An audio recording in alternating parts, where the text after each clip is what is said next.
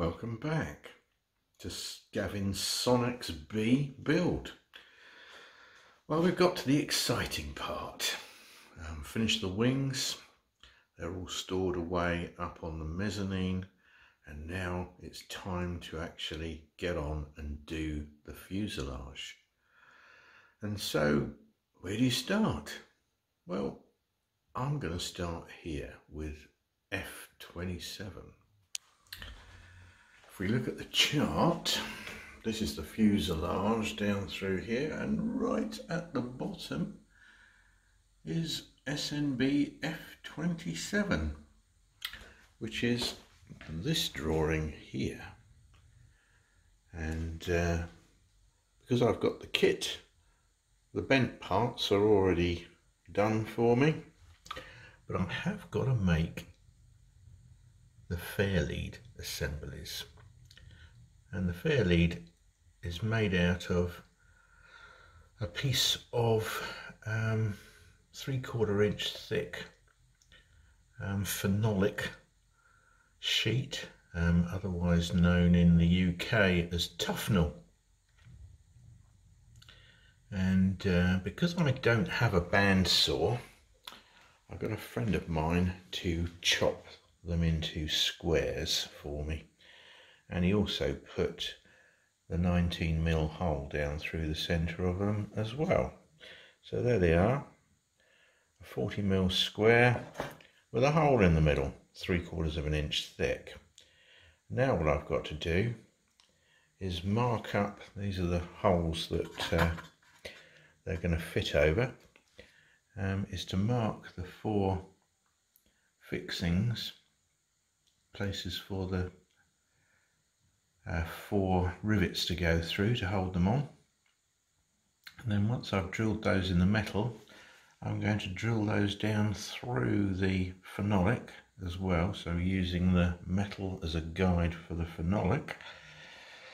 They'll all be individual to each one, so they'll all have to be numbered. Um, because I can't guarantee to get the, uh, the holes in exactly the same place on each one. Um, so we'll uh, get on and drill those, then drill down through the phenolic and uh, rivet them on. And that's our first little assembly job on the fuselage.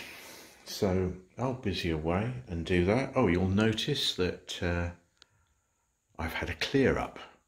I thought things are going to start again best clear the place up um, between moving the wings out and uh, and bringing the um, parts in for the fuselage I've also constructed a pair of new exhaust pipes for my kit car.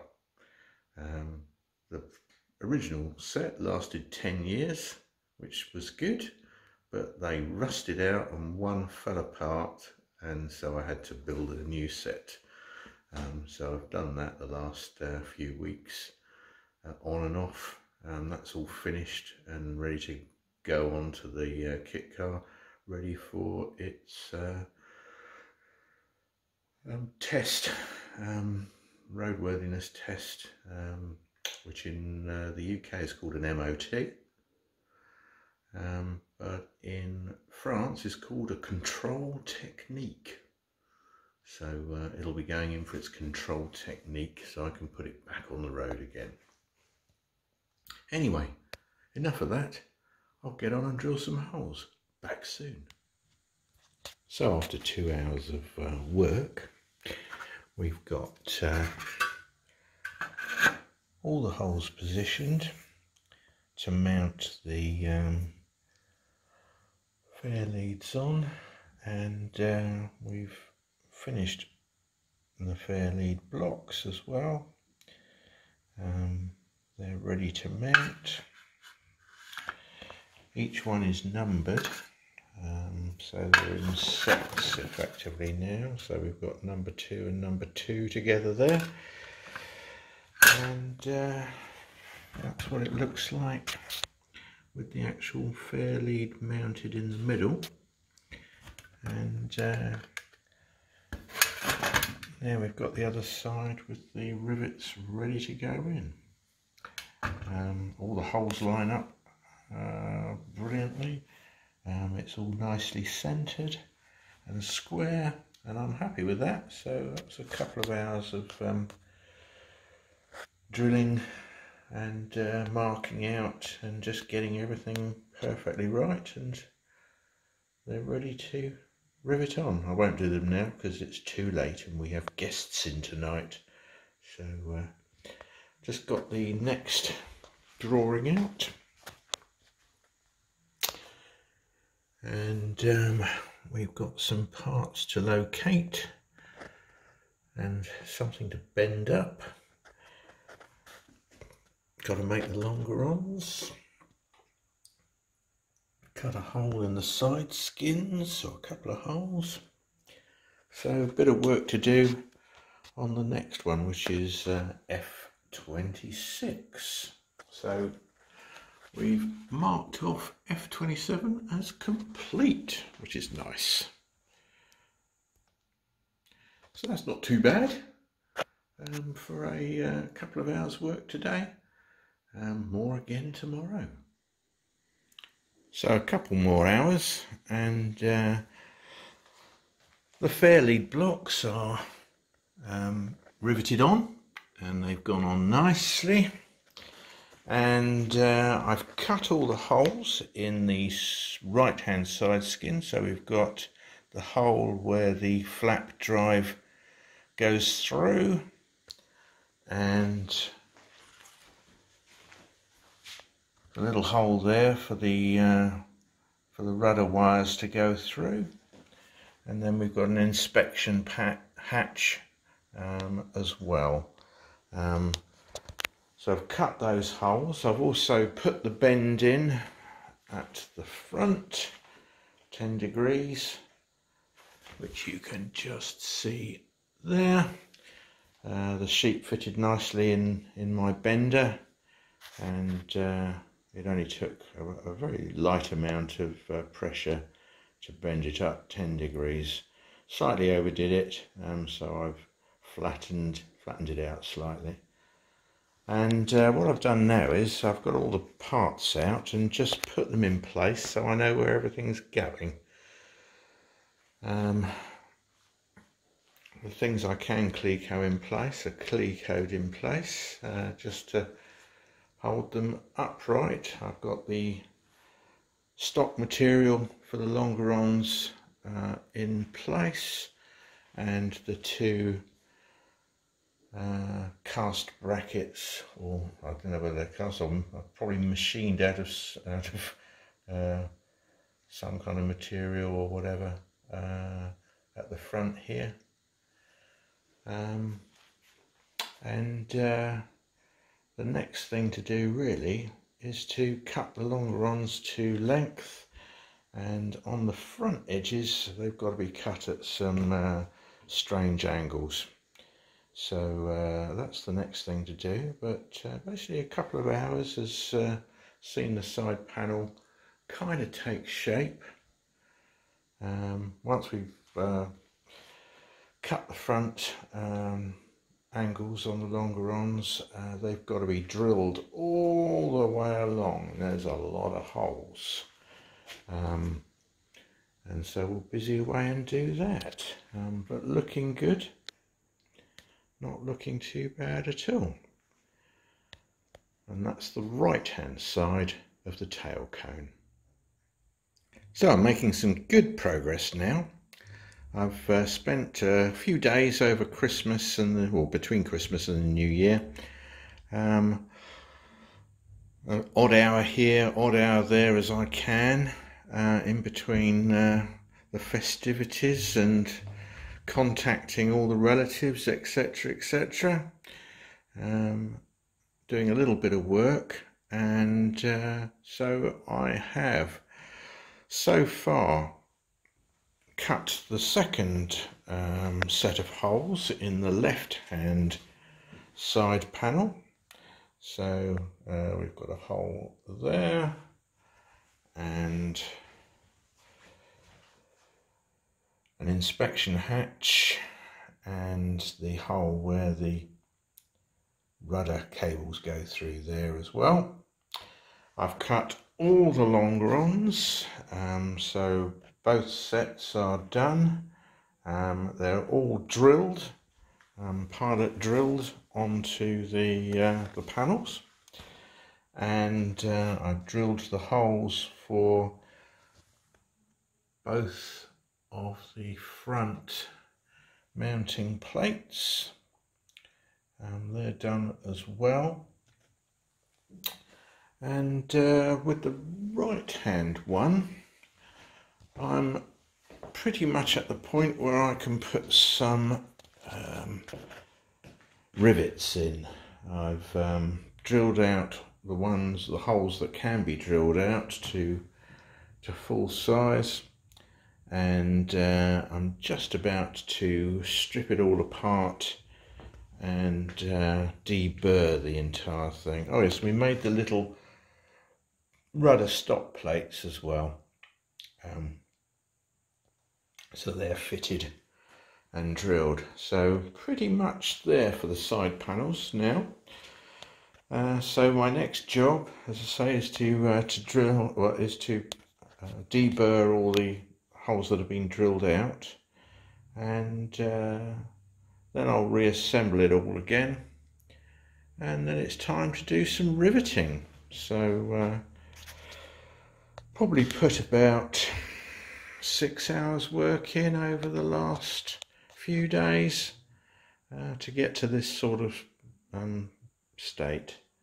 Um, so more later, an hour or so later, and we've stripped it down, deburred it where required, and then reassembled it. And I've got some of the rivets in the holes ready to start riveting.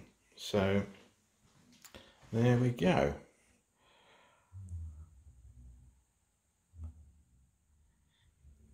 A little update on the progress. So uh, the right hand panel, which is now over here, is now riveted as far as it can be riveted. Can't rivet the, the top longeron um, and also the, the top rivet on each of the strengtheners. Um, but apart from that, most of the rest of it's um, riveted and I've just put the left side up here and uh, just about to drill out to rivet size, then strip down and deburr, reassemble and rivet. So that's what we're up to this evening.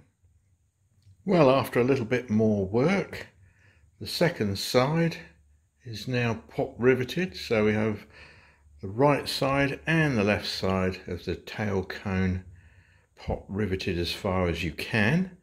And uh, just so that you can see what they look like, I've uh, spent 10 minutes and put a couple of the cross members in just to hold them here for the moment and that's the beginnings of our tail cone. Um, looking pretty good.